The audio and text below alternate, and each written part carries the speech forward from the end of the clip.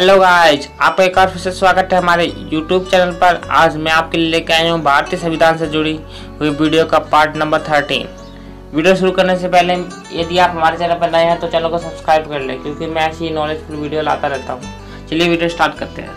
हमारा पहला सवाल है, मूल संविधान में राज्यों को चार अलग अलग प्रवर्गों को समाप्त करने के लिए किसकी अध्यक्षता में राज्य पुनर्गठन आयोग का गठन किया गया इसका ऑप्शन है फजल अली, आदित्यन सिरामुल्लू पंडित जवाहरलाल नेहरू या सरदार पटेल। तो इसका सही जवाब है फजल अली के।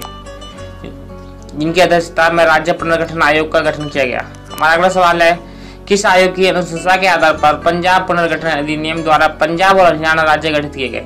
इसके ऑप्शन है धरा आयोग, दास आयोग, महाजन आयोग या शाह आयोग। तो इसका सही आंसर है धरा आयोग। हमारा अगला सवाल है, भारत के संविधान में कहा गया है कि भारत के संसद के तीन अंग होते हैं। इनमें एक लोकसभा, दूसरा अंग राज्यसभा, जबकि तीसरा अंग है क्या? तो इसका ऑप्शन है उपराष्ट्रपति, प्रधानमंत्री, राष्ट्रपति, या इनमें से कोई नहीं। तो इसका सही जवाब है राष्ट्रपति। हमारा अगला सवाल है, भारतीय संसद का तीसरा अंग कौन है? इसका ऑप्शन है उपराष्ट्रपति, प्रधानमंत्री, राष्ट्रपति, या इनमें से कोई नहीं। तो इसका सही जवाब है राष्ट्रपति।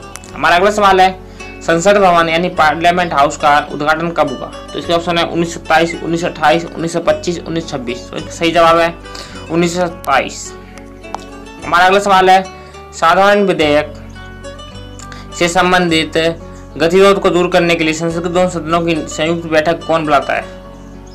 तो इसका सही जवाब है, राष्ट्रपति। हमारा अगला सवाल है, निम्न विधेयक में से किसका एक भारतीय संसद के दोनों सदनों द्वारा अलग अलग विशेष बहुमत से पारित होना आवश्यक है? धन विधेयक, साधारण विधेयक, संविधान संशोधन विधेयक या वित्त विधेयक? तो इसका सही जवाब है संविधान संशोधन विधेयक।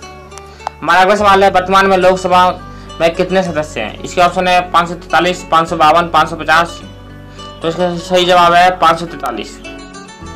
हमारा सवाल है, लोकसभा अध्यक्ष अपना त्याग पत्र किसे देता है? इसके ऑप्शन है महान्यायवादी को, राष्ट्रपति को, लोकसभा के उपाध्यक्ष को या मुख्य न्यायाधीश को। तो इसका सही जवाब है लोकसभा के उपाध्यक्ष को।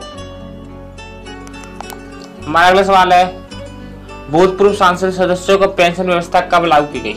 इसके ऑप्शन है उन्नीस सौ पचहत्तर, उन्नीस सौ चौहत्तर, उन्नीस सौ अठहत्तर या उन्नीस सौ छिहत्तर। तो इसका जवाब है उन्नीस सौ छिहत्तर। आई होप यदि आपको वीडियो से कुछ सीखने को मिला तो वीडियो को लाइक कमेंट एंड शेयर ज़रूर करें। साथ ही चैनल को सब्सक्राइब करना भूलें। धन्यवाद दोस्तों।